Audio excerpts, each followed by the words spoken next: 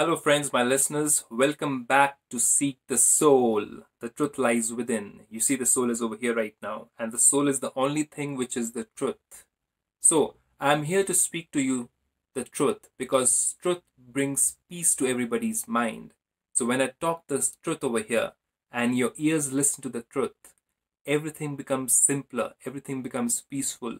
So, what do we talk on this one channel for all? Let's check this out.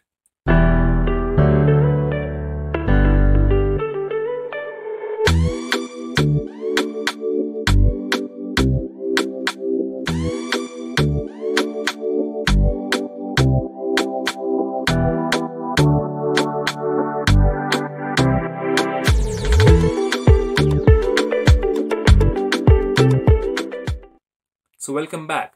Today, we are going to talk about something which is very crucial.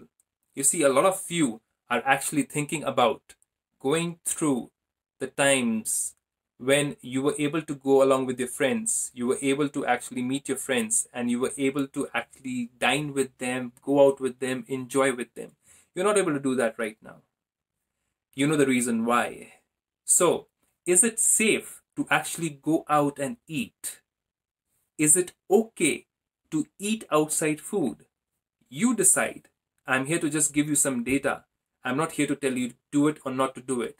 But think about it right now. You know the condition of the mind of people out there. You see, there's a lot of fear in people's mind.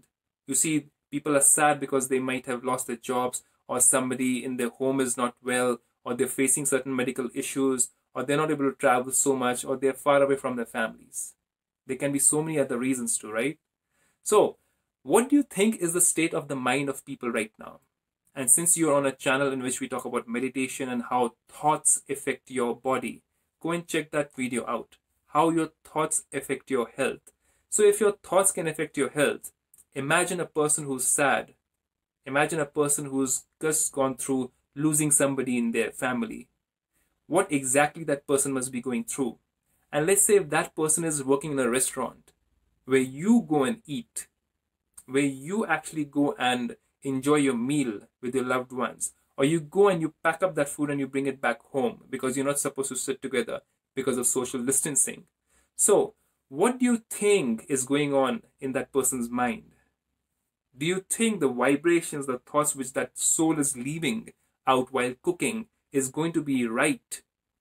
Do you think those vibrations of sadness which are going to be actually absorbed by the water or the hydrant in the food, which is water actually, do you think those vibrations of sadness, when they're absorbed by water, and that water which is being used for cooking, or the water which is there in the grains, the water which is there in the vegetables, the natural content of water which is there in them, when they absorb that sadness, when they absorb that vibration, and that is what you eat right there, or that is what you take back home right there.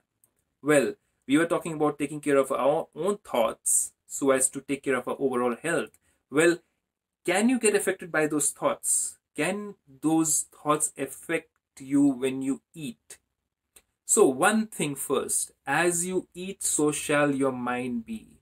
As you eat, so shall your body be and we only take care of the calories. We only take care of what content of fat and carbohydrates and protein goes into our body. Well, you can check my diet with Shanu and you can find out what is good for you to eat.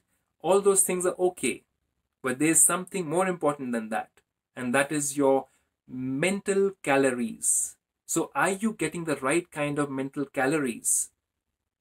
When you're cooking at home, when your mother's cooking for you, she's thinking love, she's thinking peace. Maybe she's playing a good, beautiful, harmonious song related to God and she's cooking like our grandmother used to do it in the olden days. Very few people, very few homes are doing it.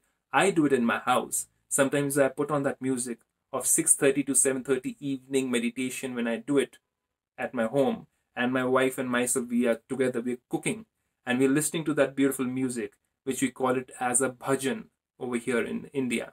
If you are an outsider, a Westerner who's listening to my video, or we put on some kind of music which is in praise of God and we start cooking together. And that's the vibration which you're sending into your food. Now imagine the kind of vibration which that person who is not meditating, who is maybe not peaceful in his mind, who's maybe lost some money because of job issues, has changed jobs because the previous job owner or the business owner did not let him continue in the job. So there are a lot of things which are playing over here. So first thing first, do you want to even eat that kind of food? I'm not saying you totally give away or totally stop eating it. Maybe later on, when things become a little better. But do you think this is the right time to go and have that kind of food? Second thing, you can leave a comment and you can let me know whether it's the right choice to make or not. What do you feel about it? Second thing over here again. At this point of time, do you think that the businesses are able to procure the right quality of ingredients? You see, a lot of businesses, I don't want to blame any business person. I don't want to point out any business person away. I don't want to point out any restaurant over here. I don't want to point out any any eatery which is actually making food and trying to you know, trying to make up in the business, in the losses at this present time. But tell me something. A lot of businesses are going through issues. Do you know the right restaurant to go to? The right owner who's not going to put anything which is second grade into your food. Maybe that person was using something first grade, but now just to recover those losses, and that person might just out of greed start using, which is something second grade, go and check it out in your restaurant. You can go to that person, you can ask them, are you using the right kind of oil? Are you using the right kind of ingredients? You have the right to do it because you're paying the money for it, right? So ask that question.